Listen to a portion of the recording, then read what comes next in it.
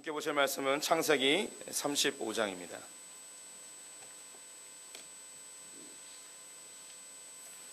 구약 성경 53쪽 창세기 35장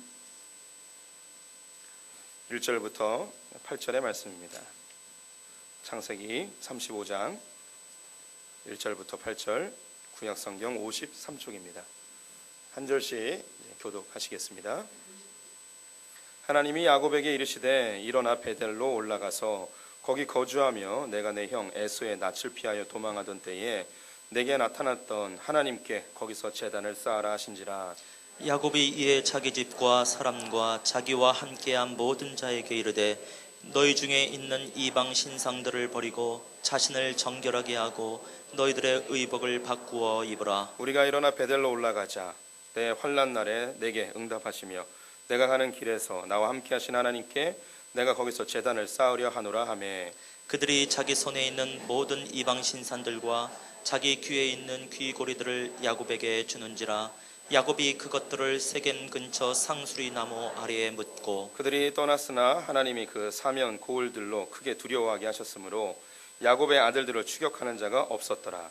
야곱과 그와 함께한 모든 사람이 가나안 땅 루스 곧 벧엘에 이르고 그가 거기서 제단을 쌓고 그곳을 엘벧엘이라 불렀으니 이는 그의 형의 낯을 피할 때에 하나님이 거기서 그에게 나타나셨음이더라 리브가의 유모 드보라가 죽으매 그를 벧엘 아래에 있는 상수리 나무 밑에 장사하고 그 나무 이름을 알론바굿이라 불렀더라. 아멘. 오늘 저녁 생활 말씀의 제목은 베델로 올라가자 하는 것입니다. 따라할까요? 베델로 올라가자. 베델로 올라가자. 1절에 보면 베델로 올라갔어 하는 표현이 있고요. 3절에는 우리가 일어나 베델로 올라가자 이런 표현이 있습니다. 이 말씀은 베델로 올라가라는 말씀은 하나님께서 야곱에게 하신 말씀입니다. 지금 야곱은 어딨냐?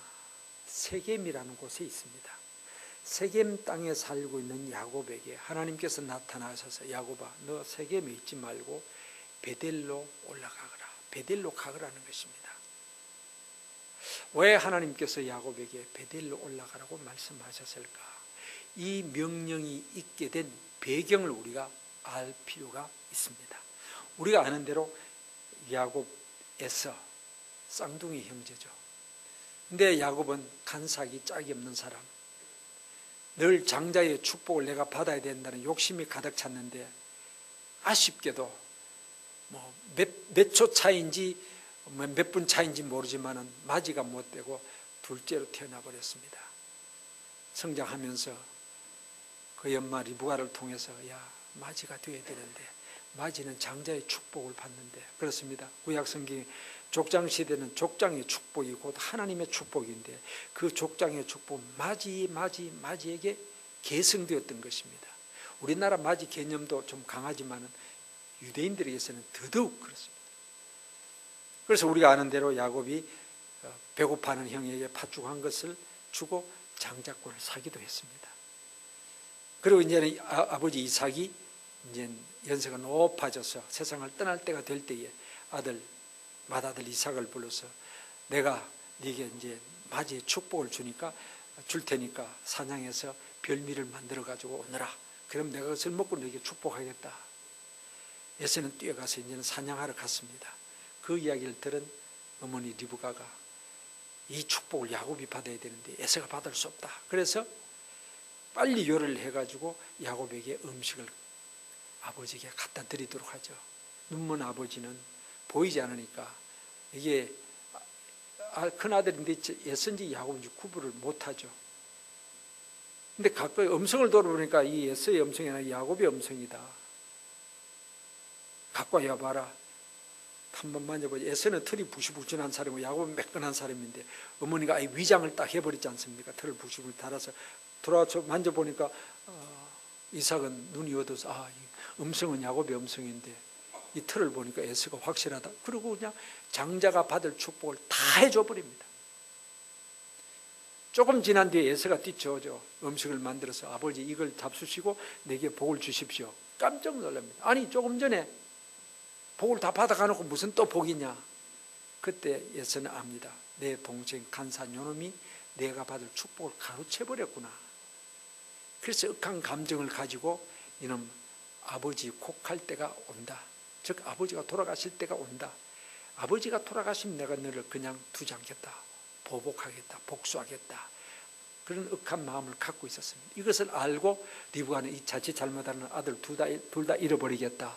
그래서 아들 야곱을 멀리 외삼촌 집 자기의 친정으로 보내지 않습니까?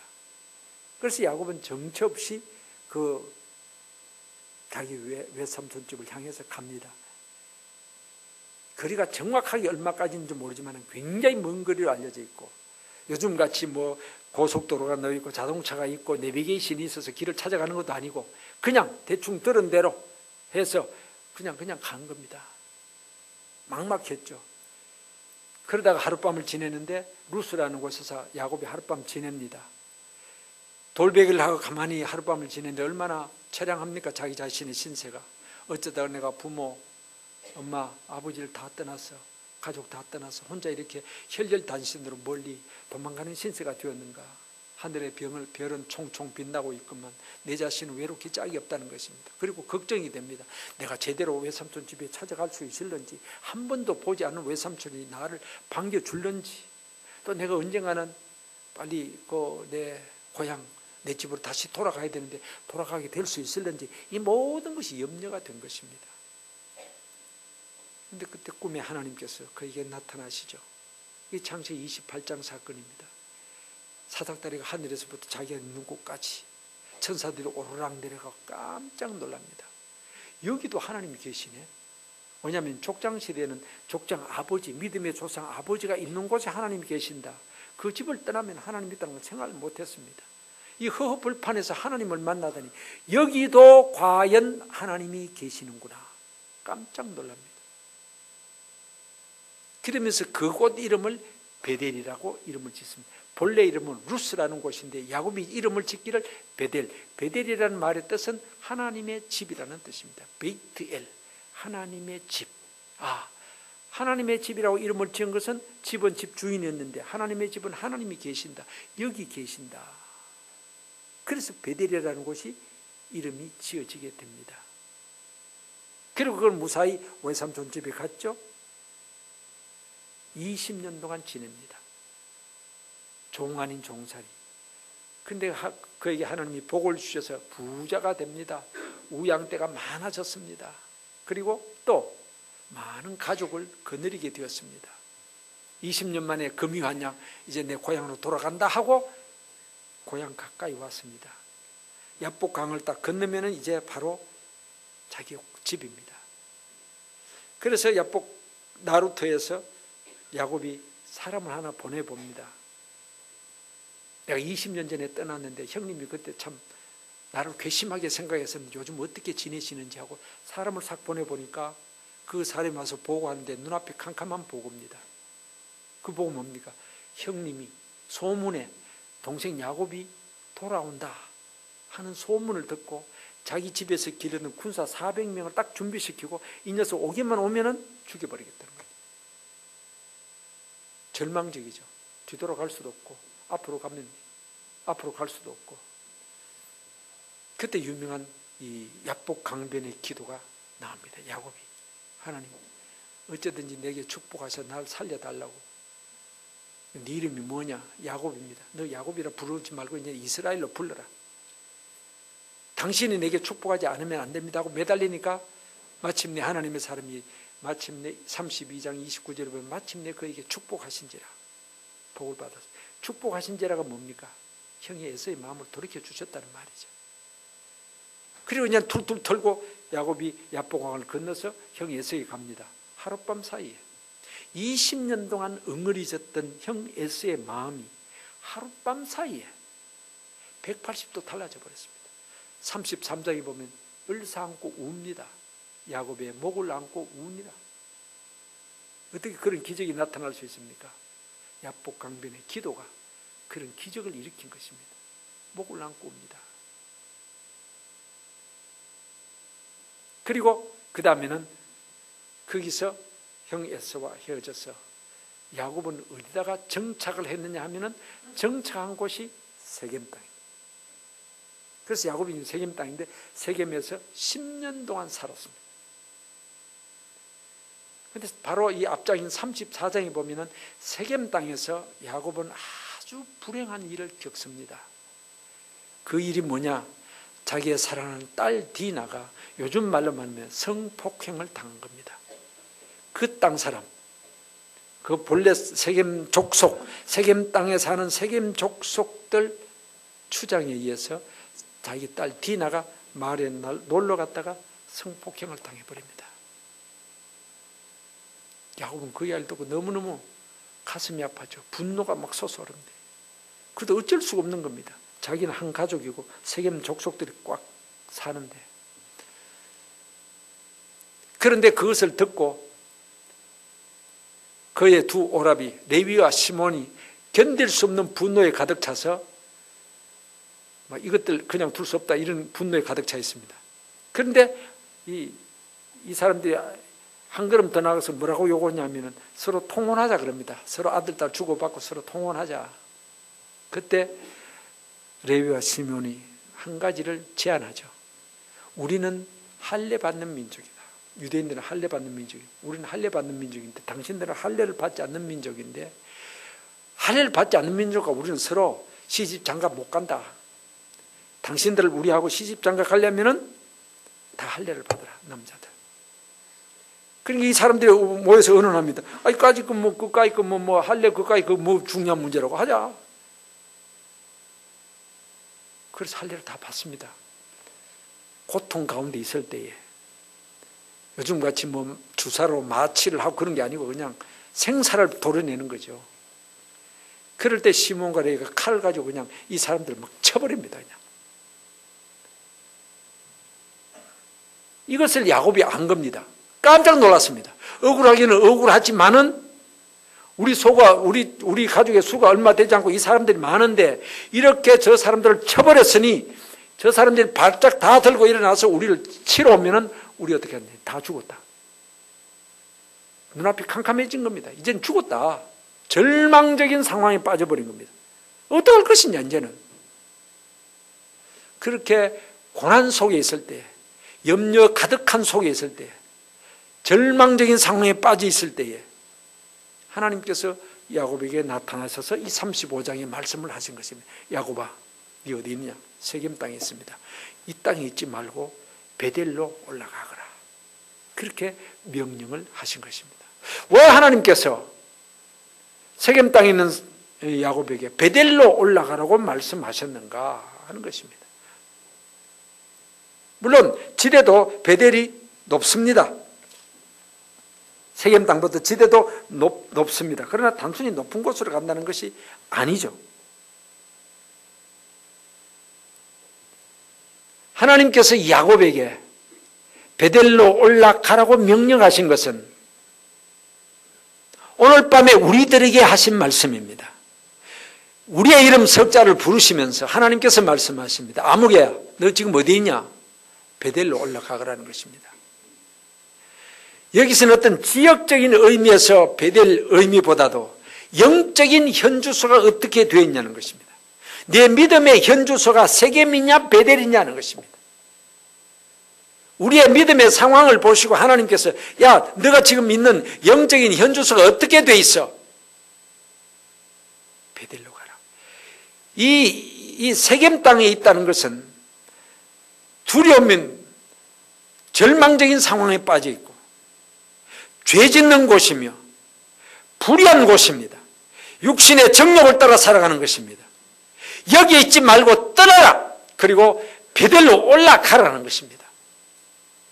그렇다면 이 밤에 내게 올라가라고 하는 베델은 과연 어디냐? 내가 올라가야 될 베델은 어딘가? 이 말씀이 주는 이 명령이 주는 의미를 몇 가지로 생각해 보려고 합니다. 첫째는 베델로 올라가라는 명령은 회개하라는 명령입니다. 야곱을 향해서 야곱에게 너 회개하라 베델로 올라가라면 너 회개하라는 말입니다. 어떻게 해서 그것을 알 수 있냐면은 2절에서 4절까지 보면요. 베델로 올라가라는 명령을 들은 야곱의 행동에 있습니다. 그냥 야 올라가자고 보따리 주섬 사가지고 베델로 올라간 것이 아니라 식구들을 불러놓고 한 말이 여기에 있습니다. 뭡니까? 우리 가운데 있는 이방 신상 버리자. 이방 신상 버리자는 이야기합니다. 자신을 정결케 하고 의복을 받고 있고 귀고리를 막 가져오고 땅에 묻고 그럽니다. 베델로 올라가라 그러는데 왜 야곱은 식구들을 불러서 이런 일을 하는가?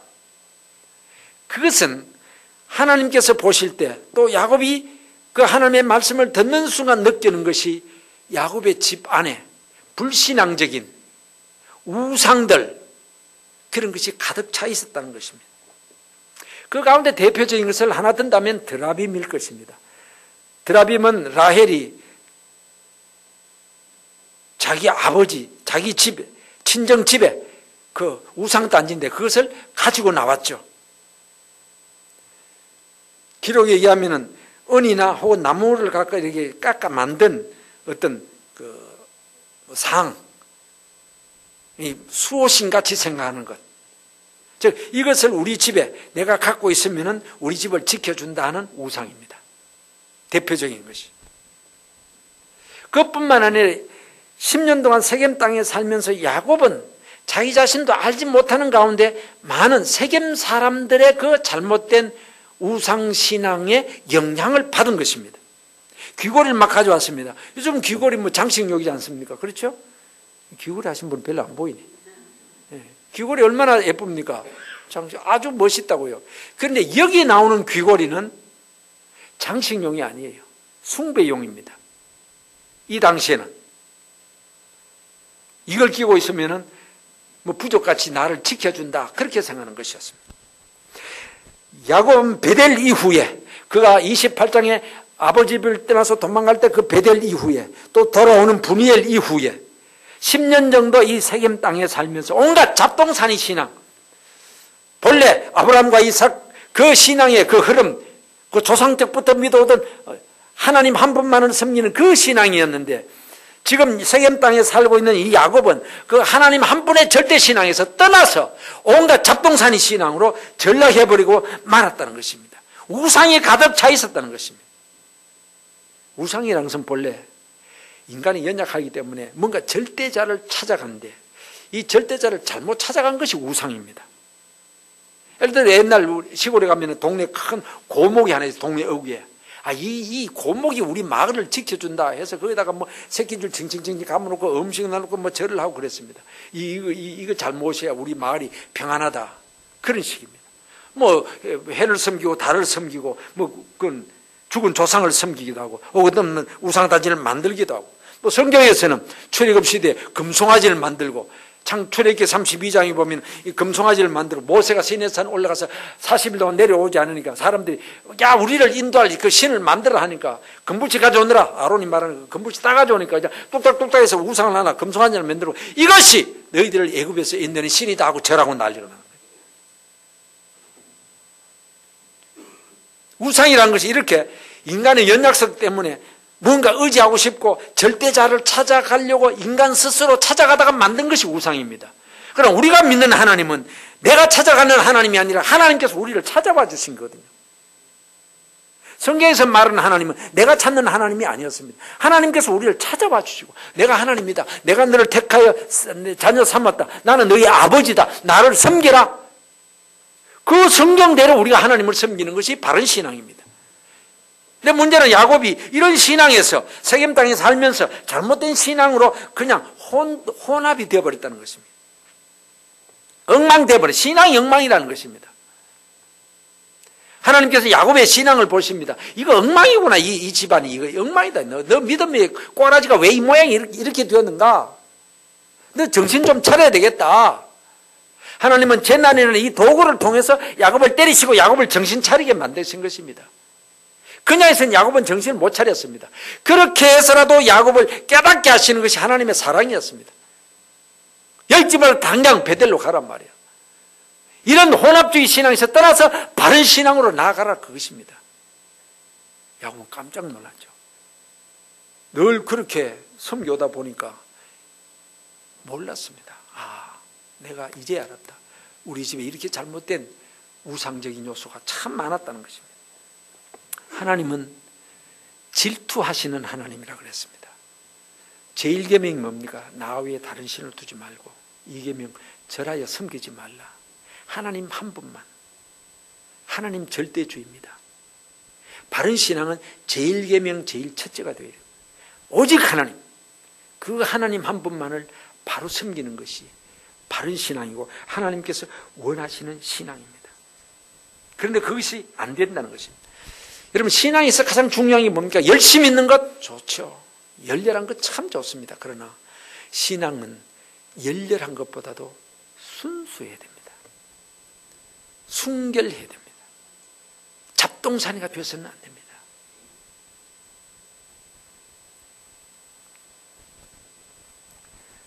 하나님을 잘못 찾아서 소를 섬기는 게 힌두죠, 힌두교. 힌두교 소를 섬깁니다. 인도, 네팔 등. 그래서 저는 에이, 무슨 소를 섬기겠냐 했는데 어, 좀꽤 오래전에 수년 전에 네팔 선교지를 방문한 적이 있습니다. 가니까 소고기를 안 먹어요. 진짜 소고기를 안 먹더라고요. 저녁이 됐는데 퇴근 시작됐는데 이게 가장 큰 큰 길, 네팔의 제일 중앙 통로 큰 길인데 차를 가다 보니까 소떼가 이제 덜해서 꼴을 뜯먹고 이제 자기 집으로 들어가는 거예요. 그러니까 큰 길을 그냥 그대로 그대로 가득질러 가는 거예요. 차들이 쫙 밀립니다. 우리 같으면 어떻게 하겠어요? 인천에 저 큰 길에 만약에 소가 쭉 가고 차들이 밀리면 어떻게 하겠어요? 클락션 빵빵 뽑는 이 소새끼 개새끼 뭐 개, 개는 없다 막 욕을 할 겁니다. 근데 거기 사람들요 클락션 누르는 사람 하나도 없고요 욕하는 사람 하나도 없어요. 다 가만히 있어요. 왜? 자기들이 믿는 신이 지나가시는데 지금.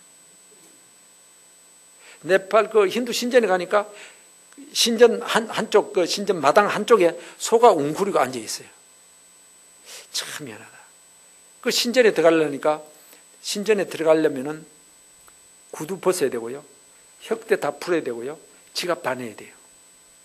왜 그러냐 하니까 우리가 섬기는 신을 잡아 만든 제품이기 때문에 그걸 다 갖고 신전에 못 들어간다는 거예요. 소가지고 그래서 아 진짜 이 소를 섬기는구나 이 사람들이 그걸 알았어요. 얼마나 어리석습니까?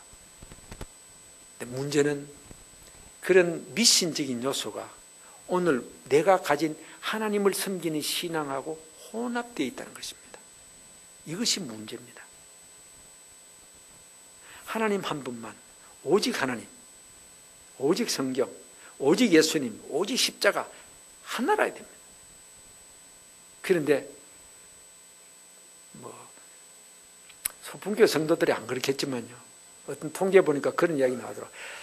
점집의 약 30%가 기독교 신자래요. 그 이야기도 깜짝 놀랐습니다. 장명하러 오죠. 태기를 하러 오죠. 애 나무 이름 부르기 쉽고 또 괜찮으면 하면 될 거 아닙니까? 못 지으면 목사님한테 가서 목사님 우리 아이 이름 지주 그러면 이름 잘 지어주거든요. 근데 뭐하러 그 집에 가가지고 돈 내가면서 이름 지을 겁니까? 태기를 하는데 뭐 이사 가는데도 태기를 해야 되고 결혼식도 태기를 해야 되고 이 사람은 손 있는 날 해야 됩니까? 없는 날 해야 됩니까? 그, 그 손이 뭐 이런 손이에요? 나는 아직까지는 모르겠네요. 손 있는 날 하면 되고 손 없는 날 하고 얼마나 예수 안 믿으면 사는 게 불편한지 몰라요. 우리는 그런 거 아무 그 그릴 것도 없어요. 아무 데나 편리한 아무 데나 가면 돼요. 그런데 이런 요소들이 신앙인들 가운데서 스며들어가 있다는 거예요. 이게 혼합주의입니다. 제가 지금 있는 교회 오기 전에 저 경상남도 진주에라는 곳이 진주 사람 있어요? 출신 없죠? 어, 저 뒤에 한 분 계세요. 어이고, 진주 했다면 또 큰일 나겠네. 제가 진주에서 목회를 했습니다. 한 3년 동안 목회를 했는데, 어느 날 우리 여성도가 집을 샀대요, 집을.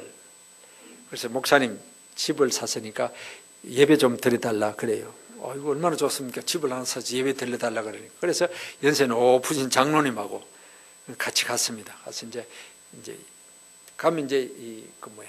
아이고, 뭐 이 집이 좋다, 뭐, 뭐 칭찬을 하지 않습니까? 아이고, 도배도 깨끗하게 했네요. 방이 여러 개네. 아이고, 참 좋습니다.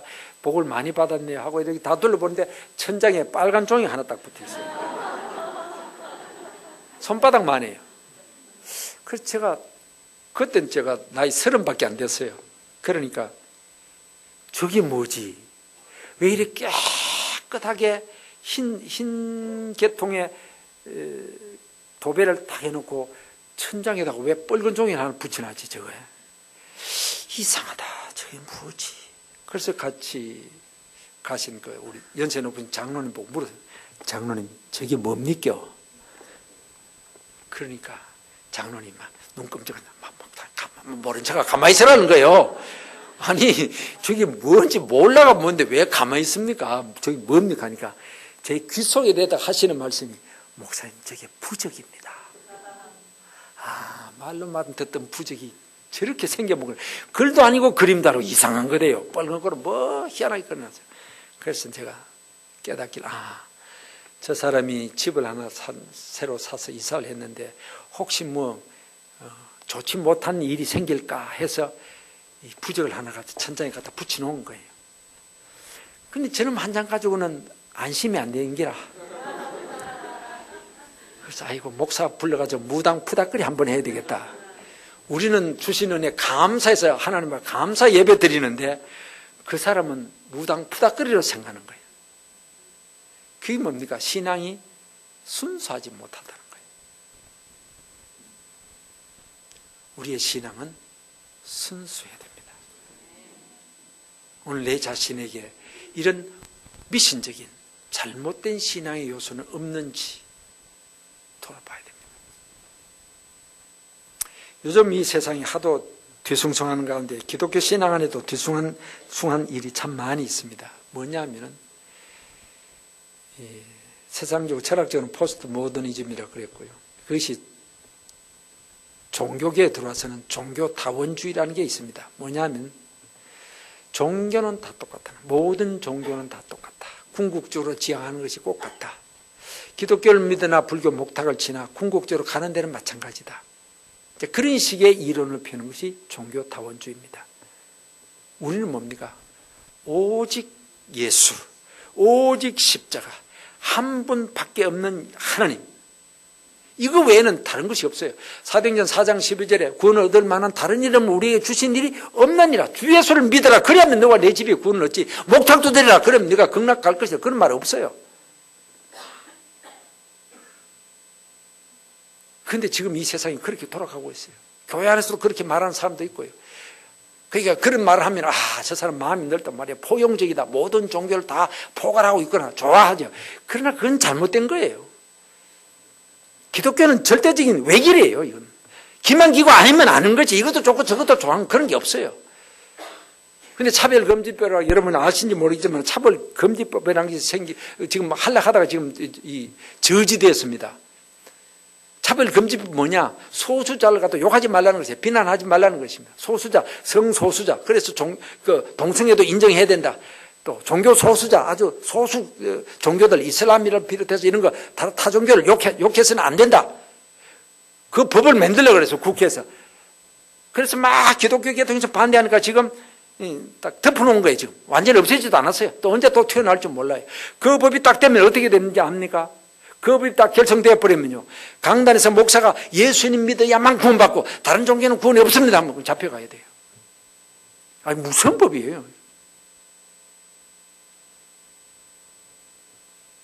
그래서 저도 우리 교회에서 이야기했습니다만은 만약 이 법이 통과되고 통과됐다 하면 저는 그 다음 주일에 오직 예수 외에는 구원 없다고 내가 설교할 겁니다. 그러면 내가 그 다음 주일에 내가 이, 여러분 이 강단에 안 보일지 모르겠습니다. 그때 내가 잡혀 들어간 줄 아시오. 그러면서 내가 내 혼자 들어가기 너무 억울하잖아요. 그 장로님도 기도 어떻게 할 거요? 기도하면서 그러면 예수 이름 외에도 다른 것도 그냥 구원 얻을 수 있는지 잘 모르겠습니다. 이래 할 거냐고 말이야. 똑같이 예수 외에는 구원 없습니다. 우린 절대적인 신을 가집니다. 이렇게 기도해야지. 그럼 같이 들어가야지. 그렇습니다. 우리의 신앙은 오직 예수 한 번 절대 신앙을 가져야 됩니다. 내 신앙 속에 다른 것이 들어오면 안 됩니다. 이 하나님께 야곱, 하나님께서 야곱을 보실 때 이 엉망이단 말이에요. 그래서 야곱은 정신이 버뜩 들, 베델로 올라가라는 명령을 딱 듣는 순간 정신이 버뜩 드는 거예요. 내 자신의 신앙 모습이 어떠냐. 하나님 알고 계신데 어떻겠냐. 이 엉망진창이구나. 하나님, 이거 다 버립니다. 회개입니다. 의복을 받고 있는 거 회개의 외적인 표시예요. 귀걸이 빼오느라 다 묻어버리자. 우상단지 다 가져오나 다 깨버리자. 그리고 베델로 올라가자. 순수신앙, 바른신앙. 회복하자는 것입니다. 그렇죠. 야곱이 그렇게 올라간 것입니다. 우리는 우리 자신의 이 베델로 올라가는 명령을 이 밤에 내게 하실 때에 정말 나는 하나님 앞에 죄된 것 없냐. 꼭 내가 우상을 말하는 것 아닙니다. 내 신앙이 정말 하나님 앞에 흠없는 신앙. 물론 우리가 완전할 수는 없습니다만은 그냥 타성의 저전, 잘못된 신앙의 관행 이거 없나? 하나님 앞에 뜯어 고칠 것 없나? 하나님 앞에 버릴 것 없나? 자를 것 없나? 신앙생활에 지장을 주고 있는 여러 가지 요소 버릴 것 버리고 자를 것 잘라야 됩니다. 그 너절하게 달고 되면 신앙생활 제대로 되는 게 아니에요. 제가 어느 교회 부교육자 할 시절에 부목사 때인데 여름에 신방을 갔어요. 그 집사님 하는 사업장 서점을 했는데 서점 사업장에 갔어요. 저하고 전도사님하고 같이 갔어요. 가서 가니까 그 집사님이 여름 여름에 아이고 목사님 오셨습니까? 인사도 하는데 담배값이 위에서 탁 떨어지는 거예요. 여름이니까 남방, 남방 사치를 입고 여기다 딱 넣는 거예요. 겨울 양복 같은 미안해는 거잘 모르겠는데 탁 떨어지는 거예요. 곧 떨어지는 순간요. 저도 당황을 하고 그 집사님도 당황을 하고 이거 뭐 할 말도 잊어버리고 이제 이거 어쩔까 어정쩡하게 돼버렸어요. 물론 담배 피운다고 구원 못 받는 건 아닙니다. 담배 피우는 사람 교회 오면 안 된다는 건 아닙니다. 그건 전혀 어, 개의치 마시고 담배 피우더라도 교회는 와야 됩니다. 그러나 더 좋은 신앙, 더 바른 신앙을 갖기 위해서는 끊어야 됩니다. 끊는 게 좋잖아요. 우리 제가 연말마다 이제 송구 여기 그리 지금 송구 영신 예배하는데 헌금과 더불어 이제 기도 제목을 했는데 어떤 집사님 금년은 하나님 담배 끊게 해주시고 아, 금년 그냥 결단을 내는데 아 이 친구를 내가 보니까 젊은 친구들이 야 이거 참 교회를 지나는데 열심히 한다 하는데 아직까지 이놈도 못 끊었구나. 그런 음, 다른 사람한테 이야기할 건 아니고. 속으로 그렇게 생각했죠. 끊도록 해달라고 기도는 하고 그런데 참 이런 게 정리 안 되는 경우도 있습니다 다시 말씀드리지만 아이고, 그럼 담배 피우는 사람 교회 오면 안 되는구나 그게 아니고 아이고 담배 피우면 그냥 천국 못 가는구나 그건 절대 아닙니다 그러니까 그걸 피우더라도 열심히 교회 와야 됩니다 근데 하나님이 언젠가는 끊게 해 주시겠죠. 그걸 기도 하나님 의지로 안 됩니다. 하나님 그냥 냄새 나서 구역질 나가서 절대로 못 피우게 만들어 주옵소서 기도할 일, 일입니다. 근데 다행히 그 집사님이 그, 그 사건 이후로 담배를 싹 끊어버렸어요. 얼마나 창피했겠습니까? 주일학교 교사였는데. 네. 어떤 것이든지 꼭 죄 되는 것도 끊어야 되지만 죄는 안 된다 할지라도 신앙에 유익이 되지 않는 것은 버리는 것이 좋습니다. 어떤 사람 막 이런 이야기를 하는데, 아니, 뭐 성경 뭐 담배 피우지 말라는 거 없잖아요. 술을 먹지 말라는 거 있어도 담배는 피우지 말라는 거 없어요. 아, 어, 없으니까 피우려면 피우라고. 그런데 너희가 먹든지 마시든지 하나님 영광을 위해서 하고 어떤 음식이든지 기도, 감사 기도하고 난다는데 그러면 하나님 아버지 이 담배 주시니 감사합니다. 이거 먹고 건강하게 폐도 튼튼하게 주옵소서. 그러면 안 돼요. 그 기도 하고 안 돼요. 피우란 말이에요. 담배값도 2천 원 올랐는데 그냥 끊어버리지요. 예. 우리의 신앙이 내 자신의 신앙이 이 말씀의 거울 앞에 정말 내가 바른 신앙이냐 하나님 보시기에 혹시 부끄럽고 거리끼고 잘못된 잡동산이 혼합 있다면은 싹다 잘라버려 결단해야 됩니다. 신앙을 결단해 회개는 결단이에요. 그리고 베델로 올라가는 것입니다. 이게 야곱의 결단이었습니다. 두 번째는 베델로 올라가라는 명령은 처음으로 돌아가라는 명령입니다. 처음으로 돌아가라. 야곱이 하나님께서 이 죄된 세겜을 떠나서 갈 데가 많습니다. 바다나람, 분이엘, 부엘세바 다 갈 수 있는 곳입니다. 그런데 하나님께서 굳이 베델을 딱 지적하셨습니다. 그 이유가 뭘까요? 왜 하나님께서 굳이 이곳을 떠나서 곳이 아닌 베델이라고 딱 지정하셨겠는가 이겁니다. 아까 제가 서두에 말씀드린 대로 베델은 창세기 28장 야곱이 하나님을 처음 만난 곳입니다. 그래서 그가 한 말이 뭡니까? 여기 과연 하나님이 계시나? 하나님을 만났다는 것입니다. 첫 신앙지, 첫 하나님을 만난 곳, 첫 은혜 받은 곳, 첫 신앙 고백한 곳. 하나님이 나와 함께 계시다. 경험한 것입니다. 처음으로 경험한 곳입니다. 그때 그는 믿음을 각오했습니다. 이제는 내가 하나님 앞에 바로 살리라. 그때 그 믿음이 진실하고 간절하고 열렬했습니다. 신앙의 상태를 보면은 높은 수준의 신앙 상태. 야곱은 변덕이 많은 사람이었습니다만 야곱의 신앙의 제 절정에 올라갔던 데는 베델과 분이엘입니다. 베델의 신앙이 쫙 높이 올라갔대요. 그곳으로 가라는 것입니다. 그런데 지금 자기가 땅에 살고 있는 이 땅 세겜은 베델보다도 지면도 훨씬 낮지만은 문제는 신앙의 상태가 뚝 떨어져 버린 것입니다. 처음 가졌던 그 신앙, 베델에서 처음 가졌던 그의 믿음과 지금 세겜 땅에서 그 그가 가진 그 신앙은 너무너무 엄청난 차이가 거죠. 그래서 하나님께서 야, 너 이 세겜에서 떠나서 네가 처음 나를 만나고 처음 네가 신앙을 가졌던 그곳, 그 상태 회복하라는 것입니다. 처음은 누구에든지 참 좋은 것 같아요. 첫 처음은. 그런데 시간이 가면 점점 날 가지고 떼묻고 퇴보하는 경우가 많이 있습니다. 성경적으로 봐도 그렇습니다. 계시록 2장 5절에 보면 예배속 교회를 향해서 주님 말씀하십니다. 칭찬을 하신 뒤에 책망 한 가지가 나옵니다. 처음 사랑을 버렸다. 그냥 사랑 버렸다 아니고 처음 사랑을 버렸다. 예배속 교회를 향해서. 그러면 예배속 교회는 처음에는 사랑이 많은 교회였다는 것입니다. 그 예배속 교회 모습이 사도행전 20장에 나옵니다.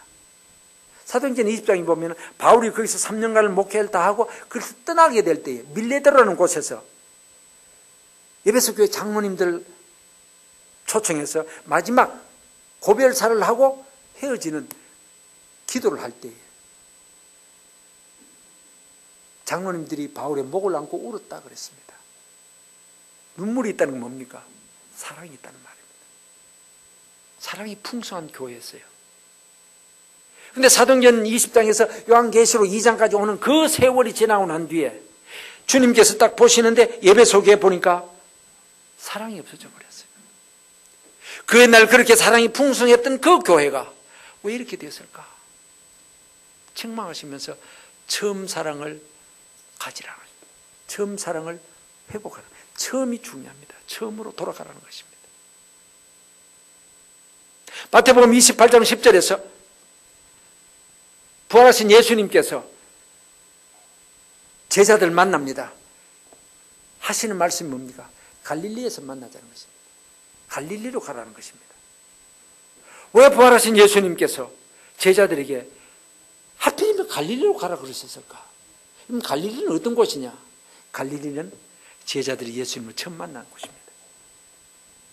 대표적으로 베드로를 볼까요? 누가복음 5장에 보면 고기 잡는 사건.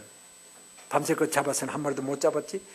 그런데 예수님께서 깊은 데로 가서 그물을 내려 고기를 잡아라. 그물이 찢어질 만큼 많이 잡혔습니다. 깜짝 놀랐습니다. 나는 죄인입니다. 나를 떠나소서.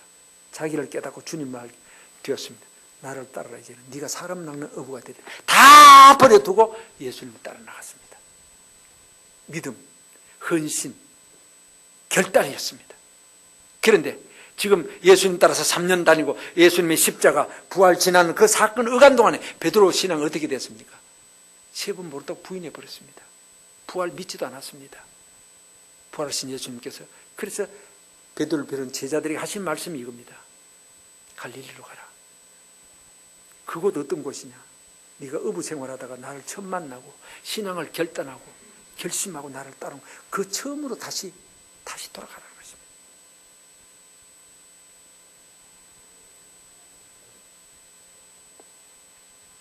저나 여러분이 다 신앙생활의 역사를 보면 뭔가 가장 감격스러웠던 때가 있습니다. 신앙의 일이 굴곡을 치면 높았던 과거가 있을 것입니다. 그게 언제입니까? 저는 부끄럽게도 목사된 지 금년이 40년째입니다. 나이 27에 귀때기 새파랄 때 목사가 됐습니다. 연세 높으신 노예 어른 목사님들이 이제 무릎 꿇고 이제 머리에 손을 얹고 기도하시는데 눈물 콧물이 되도록 쏟았습니다. 이젠 죽었다. 아골골짝 빈들에도 복음 들고 가겠습니다. 막 그냥 막 완전히 그냥 막 그, 그때 그 주님 사랑하는 마음 또 헌신의 열정은 막 그냥 대단했죠. 부끄럽습니다. 내 자신이 40년 동안 지내면서 그때 가졌던 열정이 있는가? 부끄럽죠. 내 자신이. 여러분 다, 다 그런 과거가 있을 것입니다. 장로님들 장로로 장립받을 때 그 감격이 있죠. 어떤 분은 세례 처음 받을 때 어떤 사람은 서리 집사 처음 될 때 예수 처음 믿고 어느 부흥에서 은혜 처음 딱 받았을 때 그때의 그 감격 그 신앙. 근데 이상하게 자꾸 세월이 지나면서 이게 자꾸 약화되어 가는 것. 그런 내 자신을 보면서 주님이 말씀하십니다. 아무개야 너 베델을 회복해라 지금 내 자신의 신앙의 최고 정점이라면 감사할 일입니다. 그러나 내가 지금, 지금의 믿음의 상태가 최고 절정이 아니라면 그 어느 시간 절정이었던 때 돌이키라는 것입니다. 처음으로 다시 돌아가라는 것입니다. 이것은 계속해서 회복되고 반복되어야 됩니다. 바울이 디모데에게 그런 고민하죠. 네가 장로회에서 안수 받을 때 가졌던 그, 그 열정, 그것을 가지라는 것입니다. 야곱은 과거를 생각합니다. 아, 내가 외삼촌 집으로 도망갈 때 그때 그 하나님 만났던 그 베델이구나. 아, 그 베델. 그러면서 장소도 베델을 찾아가지만은 믿음도 그 베델의 믿음을 회복하러 간 것입니다. 우리의 신앙이 그와 같은 베델로 올라가야 된다는 것입니다. 마지막 세 번째는 베델로 올라간다는 것은 서원을 지키는 것입니다. 서원. 베델에서 또 하나 유명한 사건이 있습니다. 28장에 보면 야곱이 하나님 앞에 서원 기도를 한 장소입니다. 그런 세 가지를 조건으로 걸었습니다.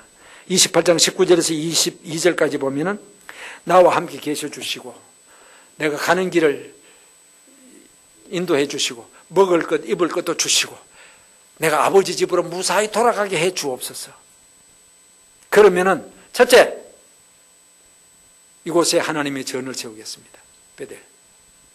하나님 한 분만 잘 섬기겠습니다. 소득의 11조 드리겠습니다. 세 가지를 약속했습니다. 그런데 그는 한 가지도 안 지켰습니다. 세겜 땅에 사는 이 자체가 하나님 앞에 약속을 불이행하는 것입니다. 33장에서 그가 형 예서를 만나고 난 뒤에 곧바로 베들로 갔어야 됩니다. 거기서 하나님 한 번만 섬겨야 되는데 세겜 땅에 살면서 우상 섬기는 잡동산이 신앙 돼버렸죠. 이곳에 하나님의 전 삼겠다 해놓고 베델은 가지도 않고 세겜 땅에 살죠. 소득의 10분의 1 드렸다는 기록도 없습니다. 이것은 뭡니까? 위급할 때. 창세기 28장은 그가 굉장히 다급했습니다. 위급할 때 하나님 앞에 서원기도 약속해버리고 편안하고 문제 해결돼 버리면 입 싹 닦아버리는 이 야곱의 간사함을 여기서 볼 수 있습니다. 서원이 뭡니까? 하나님 앞에 가지는 종교적 서약입니다. 레위기를 보면 서원할 수 있습니다. 그런데 조건 하나 있어요. 서원한 것은 해로울지라도 반드시 지키라 그랬습니다. 우리는 그런 경우 있거든. 서원할 때가 있습니다. 너무 큰 문제가 있을 때 하나님 이 문제만 해결해 주시면 이것이 뭐 사업입니다. 일단 이 사업 이, 이 요금 고비만 넘게 해주시면 내가 이렇게 이렇게 하겠습니다. 아들 이번에 대학만 합격시켜 주시면 하나님 내가 이렇게 이렇게 하겠습니다. 병에 걸렸습니다. 이 병만 고쳐주시면 내가 이렇게 이렇게 하겠습니다. 물질을 드리겠습니다. 몸을 드리겠습니다. 교회를 섬기겠습니다. 전도하겠습니다. 매일매일 약속 다 합니다. 근데 해결 딱 됐어요. 물론 신실하게 이행하는 사람도 많습니다. 그러나 그렇지 않은 경우도 있다고요. 야곱은 그렇지 않았습니다. 한나 같은 사람은 하나님 아들 없어서 하나님 아들 주시옵소서. 그럼 내가 평생 하나님 앞에 바치겠습니다. 사무엘 주셨습니다. 평생 바쳤습니다. 그런데 야곱은 그와 달랐어요. 안 지켰습니다. 이 고난 속에 야곱은 서원을 깨닫게 됩니다. 아, 내가 베델에서 그 옛날 베델에서 그렇게 기도하고 하나님 앞에 부르짖었더니 하나님 다 들어주셨는데 내가 안 지켰구나. 베델로 가야 되겠다. 가자는 것입니다. 제가 아는 어떤 집사님은요.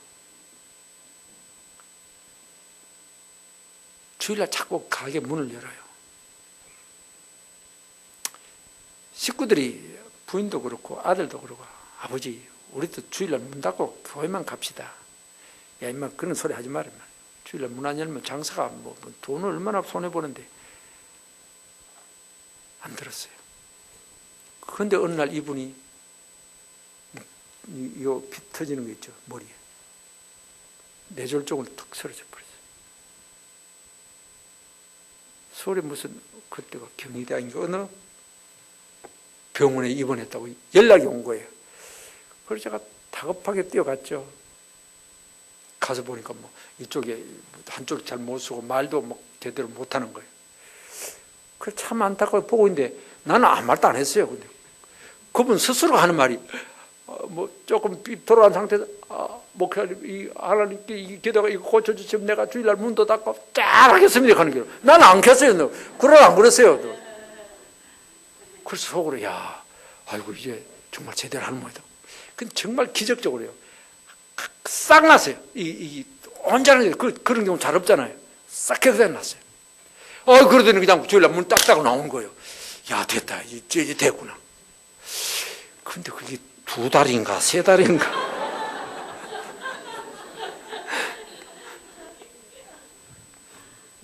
또 문을 열더라고요. 참 딱한 일입니다. 딱한 일. 야곱적인 사고죠. 우리가 때로는 한 해를 시작할 때 약속합니다. 하나님, 금년에 내가 이렇게 하겠습니다. 성경 보겠습니다. 기도하겠습니다. 전도하겠습니다. 봉사하겠습니다. 막, 막 약속해놓고 연말에 가서 돌아보면 안 한 것이 더 많습니다. 하나님 기뻐하시지 않습니다. 베델로 올라가는 것은 하나님 앞에 약속하는 것을 신실하게 지키는 삶입니다. 그래서 야곱은 결단하고 베델로 올라간 겁니다. 여기서 세겜에서. 그럴 때 그의 모든 재난, 환란, 염려, 근심, 문제가 확 다 해결이 되어버린 것입니다. 세겜 땅에 있었으면 안 됐어요. 그럼 베델로 갔을 때 하나님께서 그 문제까지 해결해 주신 것입니다. 그렇다면 이 시간에 내가 올라가야 될 베델이 어딘가?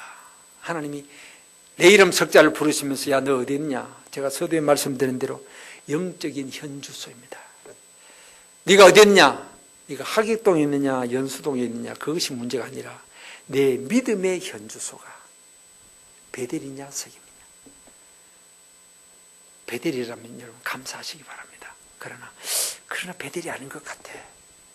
그렇다면 오늘 밤에 내게 하십니다. 베델로 가라. 여러분 베델 올라가는 결단이 우리에게 있기를 주의 이름으로 축복합니다. 기도하겠습니다. 이 시간 주신 말씀을 생각하시면서 함께 한 2, 3분 기도하면 좋겠습니다. 하나님, 내가 지금 오늘 밤에 말씀을 듣고 찔림이 있습니다. 하나님, 정리하지 못한 신앙에 좋지 못한 요소 회개하라고 하시고 서원 지키라고 하시고 하나님 앞에 약속한 것 지키지 않은 것 하나님 깨닫게 하신 것 감사합니다. 결단하겠습니다. 처음으로 돌아가겠습니다. 가장 뜨겁고 열렬한 상태. 이런 결단을 마음속에 담고 우리 다 주여 한번 외친 뒤에 기도하도록 하겠습니다. 주여! 자비로우신 우리 아버지 하나님은